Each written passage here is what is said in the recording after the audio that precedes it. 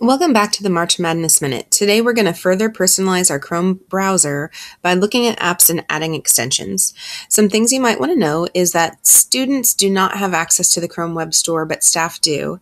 And you're going to be able to download software today without any special login because you're downloading to your browser, not to your desktop. And lastly, as long as you're signing into your work and home devices into the Chrome browser, everything you do on one will continue to sync to the other. So we're going to start where we left off yesterday. So I'm going to go to my bookmark and click on Chrome Web Store. And I'm going to look at an extension. So I'm going to look for the extension that's called goo.gl. It's this first one. It's the URL shortener. And you can go ahead and click free and then add to Chrome. And once you do that, it's going to show up right after your Omnibar or the URL and here it is right here. So why would I want a Google URL shortener?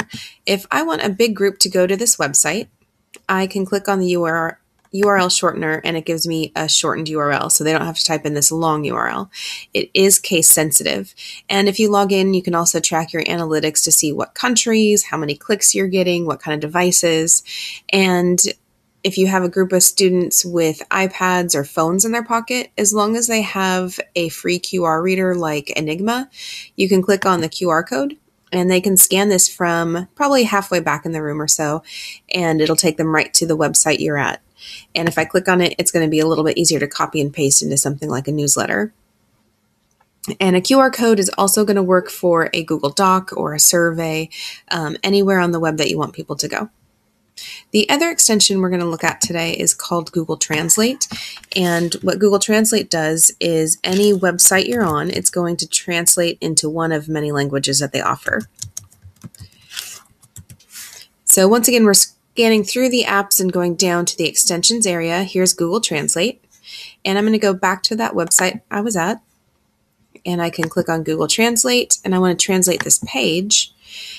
And I can choose then any of these languages. So if I go Croatian, it's going to keep the same format, the same fonts, and it's just going to translate right there on the website. And this one as well works on a Google Doc. So if you're giving maybe some science directions to your students, you can translate into the home language for, for some of your students as well.